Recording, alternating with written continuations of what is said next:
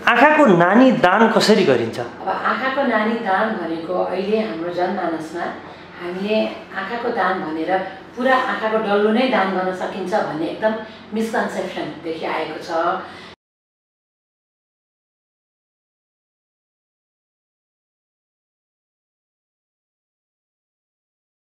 त्यसमा चाहिँ म यो माध्यमबाटै हजुरलाई के क्लियर गर्न चाहन्छु भनेको आँखा दान भनेर आँखाको डल्लै दान गर्न सकिँदैन।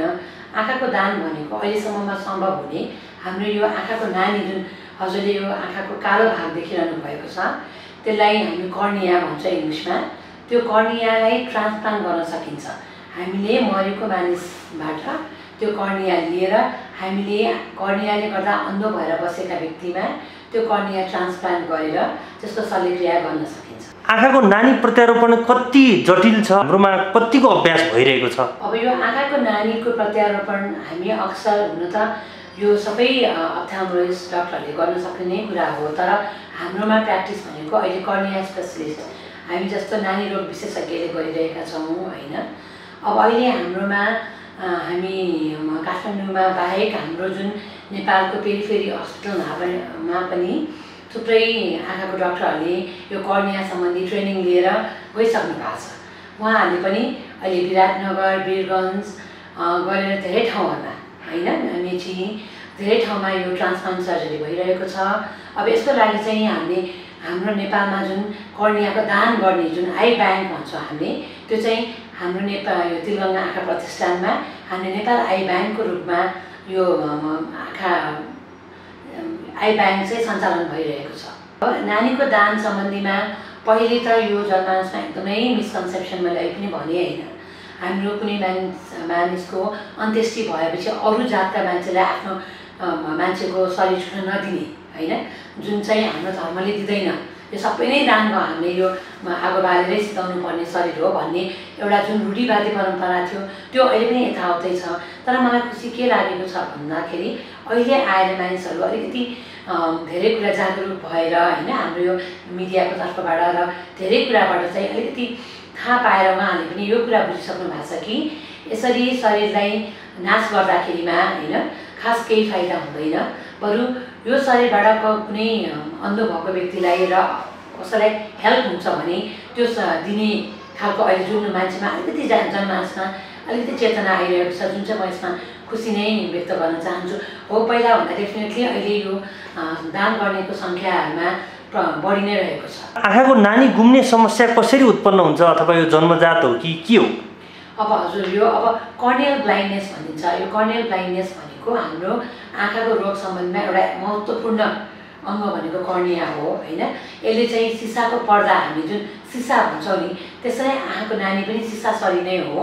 यो सिसा नै धमिलो हुन गएमा यसबाट जुन सूर्यका किरणहरू होइन? लाइट रेजहरू जुन जान्छ त्यसलाई नै यसले रोग दिन्छ र त्यो गएर हाम्रो पछाडि यो रेटिनामा पिक्चर बन्दैन। त्यो नभएपछि मान्छेले देख्न सक्दैन होइन? अब धेरै कारणबाट मान्छेले नदेख्ने हुन्छ। त त्यसमध्येमा मैले भन्नु पर्दामा म कर्निया सम्बन्धी नै भन्छु जस्तो कसैको यो चाहिँ हो हजुरले भने जस्तै जन्मजात पनि हुन्छ र अक्वायर्ड हुन्छ मान्छेको पछि जन्म पछि पनि हुनसक्छ जस्तै जन्मजात जन्मजातै बच्चाको कोही कोहीको आमाको डेलिभरी हुँदाखेरि केही कुरा फोर्सेस डेलिभरी या केही कम्प्लिकेसन भयो अथवा बच्चा आमाको पेटमा हुँदाखेरि वा आमाले गर्भमा हुँदाखेरि केही औषधिहरू सेवन गरिदिनु भयो आमालाई ज्वरोहरू आयो र कुनै किसिमको इलनेसहरू देख्यो भने पनि यस्तो समस्याहरू हुन्छ र बच्चा जन्मिँदा नै आँखाको नानीमा ठुलो ठुलो भन्छौँ कर्नियल ओपेसिटी लिएर आउँछ होइन? त्यस भएपछि अ, त्यो बच्चाले पछि गएर देख्ने क्षमता गुमाइरहेको हुन्छ। र पछिको कुरा गर्नुहुन्छ भने कुनै किसिमको रोगले गर्दा आँखामा चोट लागेर मेन चाहिँ ट्रमा भन्छौँ होइन? हाम्रो जस्तो किसानी देशमा आँखाको नानीमा चोट लाग्ने एकदमै सम्भावना बढी हुन्छ। है।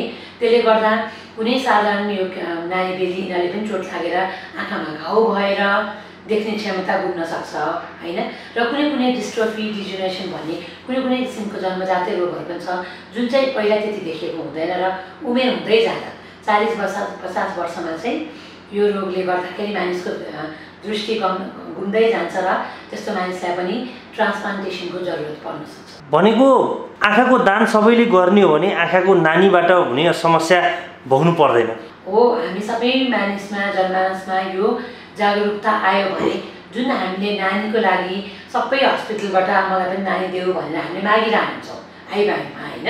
तर कहिलेकाहीँ यस्तो अवस्था आउँछ कि नानी छ जम्मा तपाईँको पाँचवटा तर डक्टरले चाहिँ मागिरहेको छ दसवटा होइन? प्रत्येक अस्पतालमा गएर त्यस्तो बेलामा चाहिँ हामीलाई नानीको सर्टेज भइरहेको हुन्छ। हो यस्तो खालको जुन मान्छे क्युमा बस्नुपर्ने होइन? जुन छ यो चाहिँ हजुरले भने सबै मानिसले यदि आफ्नो होइन आफन्तको अन्त्येष्टिको बेलामा यो किसिमको दिन मिल्ने रहेछ र दिन चाहेमा हाम्रो यो जुन हामीले जुन कर्नियल ब्लाइन्डनेस भनेर हामीले होइन मानिसहरू कर्नियाको कारणबाट पनि जुन ब्लाइन्ड भएर बसेका छौँ यसलाई अलिकति हटाउनसम्म धेरै नै मद्दत पुग्छ। कस्तो कस्तो रोग भयो भने आँखाको नानी घुम्ने खतरा हुन्छ?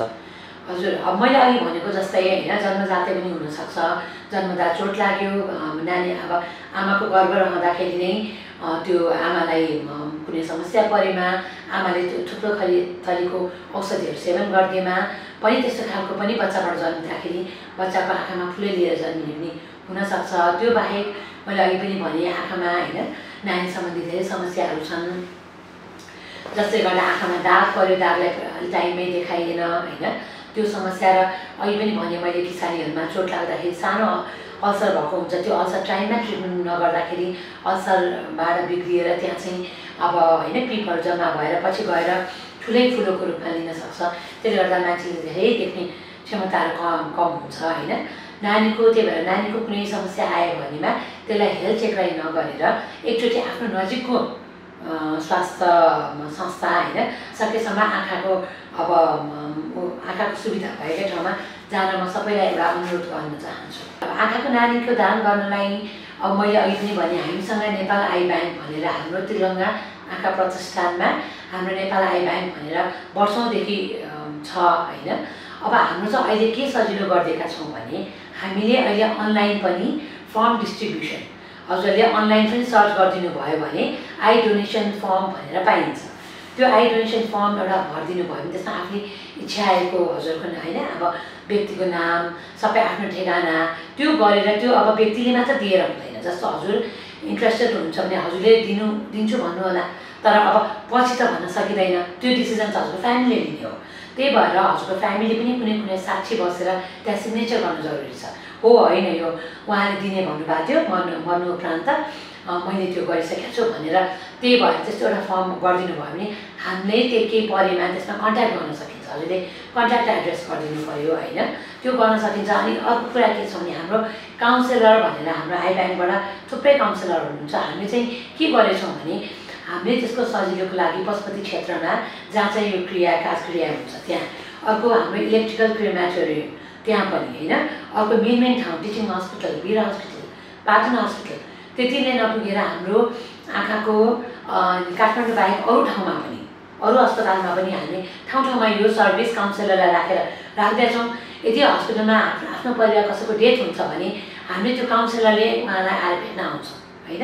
भेट्न आएपछि हजुरले उहाँसँग राम्रोसँग कुरा गरेर होइन यसरी आँखा दान गरिदिनु भएको भयो भने यो जुन आँखाको कारणले गर्दा कति यङ भाइ बहिनीहरू नहेरेर बस्नु भएको छ उहाँहरूलाई ठुलो सहयोग पुग्नेछ यो त मेरो विचारमा यो जस्तो धर्म त अरू कुन अरू कुनै हुन्छ जस्तो लाग्दैन।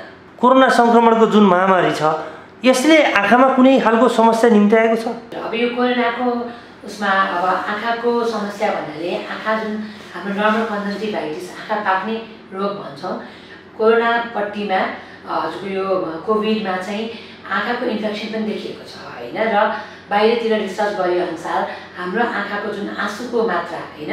आँसुको सिक्रेसनमा पनि कोरोनाको भाइरसहरू कोभिड भाइरस देखिएको छ होइन? त्यही भएर कहिलेकाहीँ चाहिँ आँखा पाक्ने रोगलाई पनि साधारण नसम्झेर र मेन चाहिँ यो चाहिँ के गर्नु पऱ्यो भने त्यस्तो बिरामी आउनुभयो भने हजुरले आँखा पाक्ने रोगसँग सँगै उसलाई शरीरमा के समस्या छ त? ज्वरो ज्वरो पो आइरहेको छ कि खोकी छ कि रुगा छ कि होइन? कतै ट्राभल हिस्ट्री भनिन्छ नि कतैबाट ट्राभल गर्नुभएको छ कि? यो हिस्ट्रीहरूलाई पनि लिएर आँखाको इन्फेक्सनलाई कोरिलेट गरेर कहिलेकाहीँ अहिले कोभिडमा हजुरको यो कन्जन्टिभाइटिस भएर प्रेजेन्ट पनि गरिएको छ।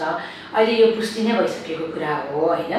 त्यसले गर्दा यसमा पनि अलिकति आफू सजग भएर होइन कसरी प्रिकसन लिन सकिन्छ त्यसरी गरेर अनि डायग्नोसिसतिर जानुपर्छ होला।